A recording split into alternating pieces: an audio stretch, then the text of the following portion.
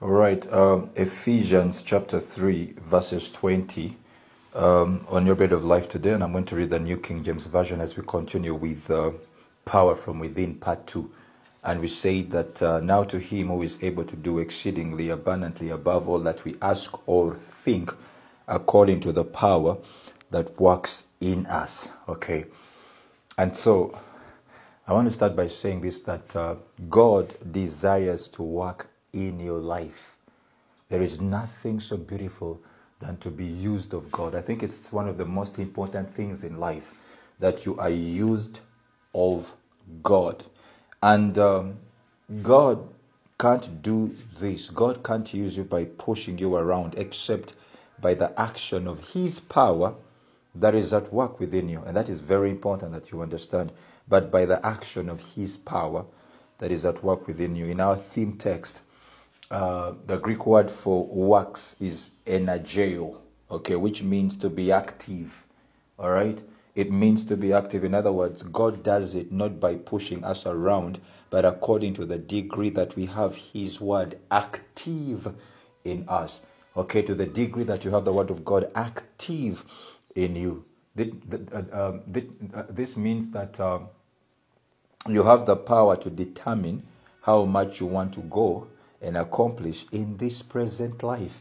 Yesterday I said if it is working 10%, then God will come to that level of 10% and work within that. If it is 80%, then God will come at that level and work at 80%. So the problem is never God, but how much you allow His word to be active in you.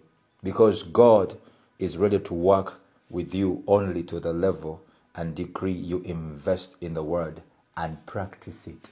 Okay, you're not only the hearer of the word, but you are the doer of the word. And this impact is dependent on how much you pay heed to the word. Now, that's very important. How much you pay heed to the word. Because the more time you give to the word, the more you'll have it active in your life.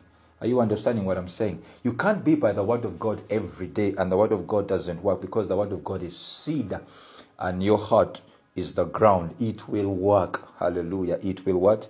Work. Listen. You will increase more as you grow in the word because this power works in us according to the hearing of faith. Galatians 3 5. And faith comes by hearing, and hearing by the word of God. Romans chapter 10. You understand what I'm saying? So, this same word active, by the way, this same word active is connected with a verb whose subject is a person that performs the action. Now, I want you to understand this because it's very important. This same word active is connected with that verb whose subject is a person that performs the action. So, this is not something that is done through my own initiative, but the initiative of God because the Bible says, For it is God who works in you both to will and to do. So you see that it is God who is actually working in you. It's not your work, it's not your faith, it's not your love. It is the love of God, it is the work of God. This is the work of God that we may believe. It is the work of God.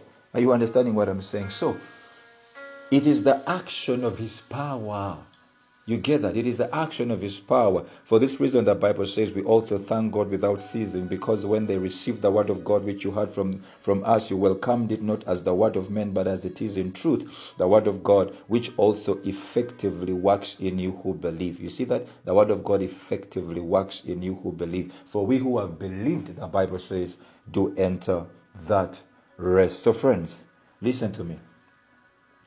Master the art of activating this thing by acknowledging the word, that our faith may become effectual effective by the acknowledgement of every good thing which is in us, which is in Christ. I acknowledge, acknowledge the word of God that you are blessed with every spiritual blessing, that you are above only and not beneath, that He became poor for your sake that you may become rich, that you are increasing and multiplying, that He has blessed you, that He has multiplied you. You understand? Acknowledge the word of God every single day of your life, that your light has come and the glory of the Lord is risen upon you. Acknowledge the word of God, that your life is built under the rock and you cannot be moved. You shan't be moved.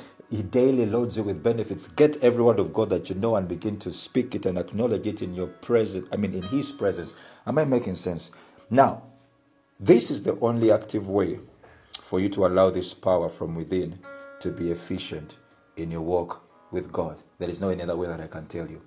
Okay, so listen, it is not yours to figure out the how the word will work. It is just to believe that it is working because the action of His power within is the work of God and not yours. Glory to God. And as you do that, I can guarantee you something that for, with this power that is within, and you acknowledging the word of God and letting God work in you both to will and to do, I can guarantee you something that the best is yet to come. And God bless you.